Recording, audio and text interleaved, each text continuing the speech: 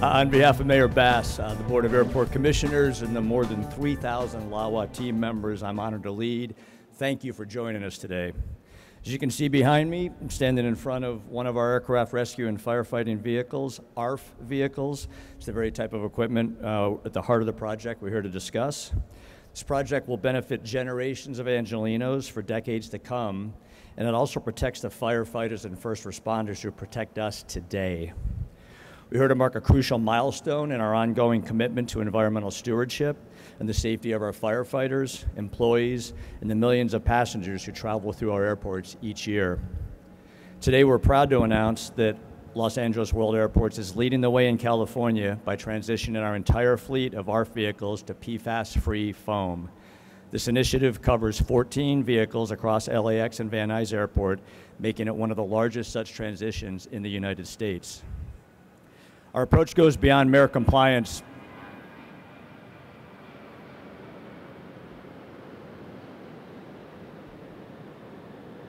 It's all right to clap for that. It's all right. It's all right. It's the sound of commerce, jobs, business, and growth. So it's definitely all right to clap for that. Uh, so look, our approach goes beyond mere compliance with regulations. We're utilizing an innovative cleaning process that reduces PFAS levels in our ARF vehicles by over 99%, significantly reducing potential exposure to, for our firefighters. Our firefighters spend countless hours in and around these machines, training every day so they can better protect us. I've been an aviator for more than 30 years, both military and civilian, and I've witnessed firsthand the personal courage and sacrifice of firefighters when the very worst happens. I'm so glad that our team, LAWA, and that includes Chief Crowley, is leading the nation to do what we can to protect those who protect us. This project is also a testament to the power of collaboration. We partnered with LAFD and with innovative companies like TRS and local partner Ocean Blue Environmental. Together, we're not just solving a problem, we're showcasing a solution that can help, that can be adopted by airports across the country and help firefighters across the country. Our commitment to sustainability extends far beyond this project.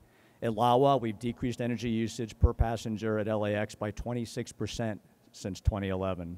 We've achieved LEED Gold certification for three new facilities and expanded solar generation at Van Nuys to almost 8,000 megawatt hours of power.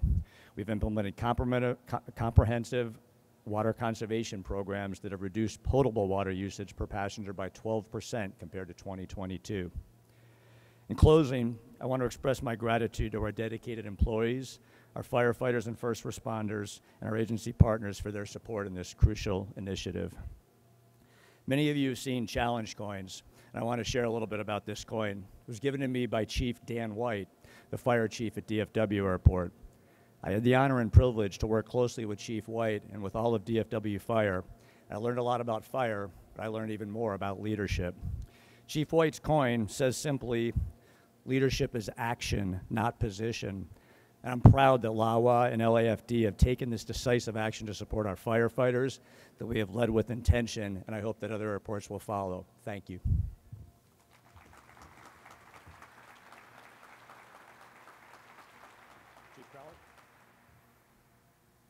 I have the honor of introducing uh, my new friend, uh, Chief Crowley. All right, thank you.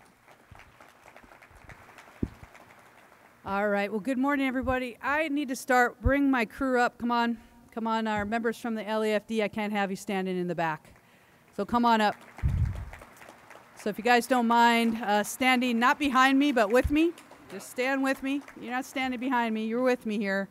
Um, I want to start with just um, some brief comments. Um, thank you so much to LAWA and to your leadership, John, um, to being the first. And this is what it's absolutely all about. It's about taking care of our first responders, like you said. By you taking swift action and wanting to be the first and just taking this on, and here we are, and it's getting done. Removing AFFF from our resources in the end will help our members stay safe and to have a long tenured, beautiful career with the LAFD, and even more important is a long career after when they retire. So thank you for your leadership, uh, and I cannot wait to see where we're going to take this. Um, and it is all about taking care of our first responders so that they can take care of the airports, They can take care of the travelers and the visitors. And in the end, I can assure you, these members here, along with the members from Fire Station 80, Fire Station 51, Fire Station 5, Fire Station 95, that take care of the airport here, they are the best of the best. And I'm so proud to stand with you guys. I know you don't like to get the accolades, but they're here and they do a tremendous job each and every day to provide incredible services to the people here in Lawa. So, with that, um, thank you for what you do. I'm extremely proud of the LAFD as a whole and the members that provide service here. And by the way, I just have to have a shout out to TRS. One of the members from the organization just gave our members a huge compliment, and that was by saying they've never seen apparatus either this old or apparatus that's behind me that has been taken care of to this level. And that is the professionalism and the dedication of our people that come to work each and every day. So I'm extremely proud of our people, but thank you so much to John and your team. I like the Team LAWA, Team LAFD. We'll have to mishmash that together.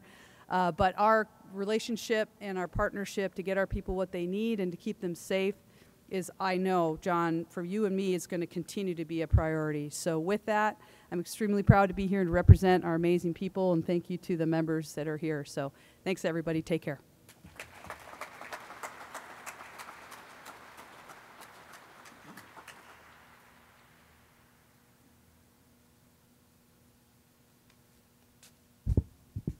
Thanks, Chief Crowley. And likewise, I'd like to have my TRS team come up. Can you guys come up?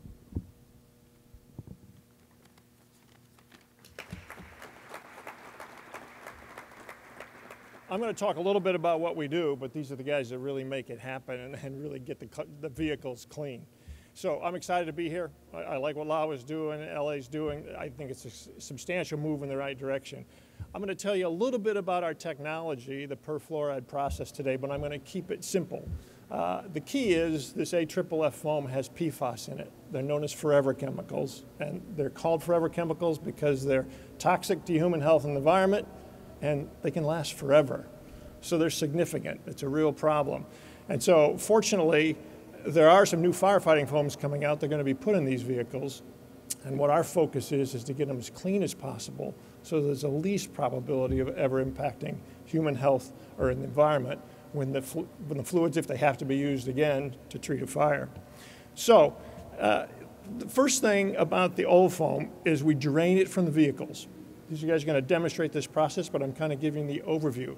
Then we take our PerfluorAd and we mix it with water.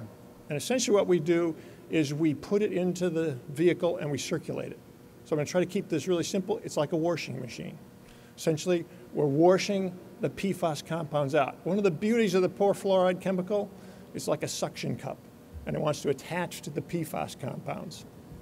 It ties them up, we circulate it through the vehicle, and then we pull that out of the vehicle. Now, essentially, we've removed 99.9% or more of all the PFAS that's left in that vehicle. We've got it extremely clean. So that, that's a key first step to the process. But there's really a second thing that happens, and that is with this technology,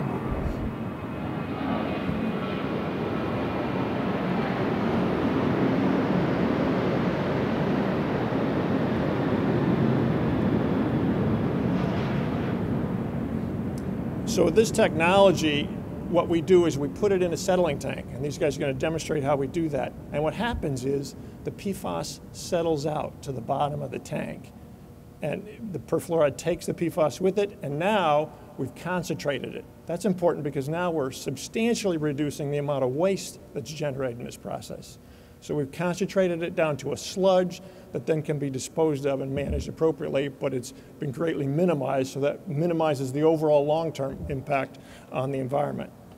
So I know it's a lot of technical talk, but I can just I can sum it into two things and make it really simple. One, the PFAS is really powerful, like a suction cup, and attaches to the PFAS. That's how we get it so clean. And two, it settles and concentrates, so we minimize that waste, and now you got clean vehicles that are safe for use at the airport. So we're, we're thrilled to be a part of this whole process. You know, these guys are the ones that do the hard work, and they're going to do you, give you the demo and tell you how it really happens in the real world when we get a chance to go over do the demonstration. So thank you very much.